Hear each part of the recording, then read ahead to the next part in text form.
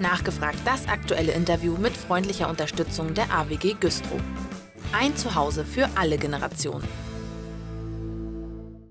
Herr Büttner, Sie haben ja zu Beginn des Jahres einige Baumaßnahmen auf dem Friedhof geplant. Das Baujahr ist vorüber. Welches, was haben Sie geschafft, was nicht? Ja, hauptsächlich hatten wir äh, zwei Maßnahmen geplant, und zwar die Erweiterung der Partnergrabanlage, welches jetzt mittlerweile schon die vierte Erweiterung dieser Anlage ist, weil der Bedarf dort eben so gestiegen ist, und äh, der Bau einer Brücke auf dem Friedhof, was leider noch nicht geschafft ist. Äh, was genau heißt Brücke? Können Sie das Projekt nochmal erläutern?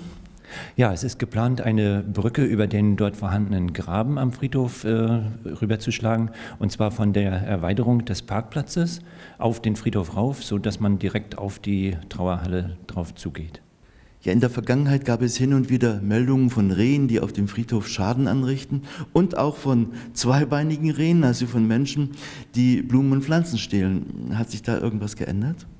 Ja, leider müssen wir sagen, also das mit den gestohlenen Blumen und äh, Gedenkartikeln oder sonstigen von den Gräbern ist weiterhin an der Tagesordnung, mal mehr, mal weniger, kann man leider nicht unterbinden.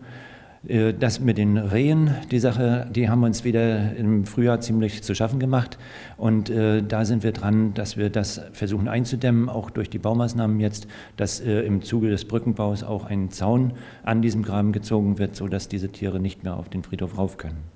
Das Jahr ist ja noch nicht um, aber welche Bestattungszahlen sind für 2016 denn in etwa zu erwarten?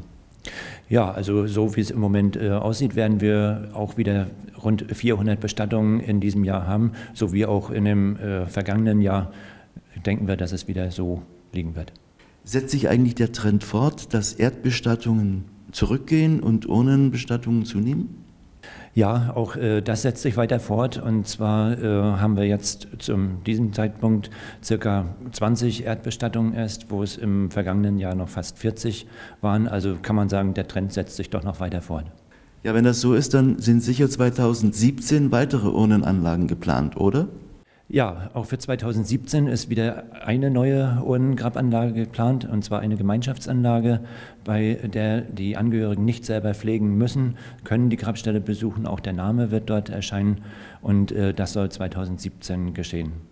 Herr Büttner, ich bedanke mich ganz herzlich für das Gespräch. Sagen wollte ich noch, dass am Sonntag, am Ewigkeitssonntag um 15 Uhr eine Andacht auf dem Friedhof stattfindet, so wie jedes Jahr.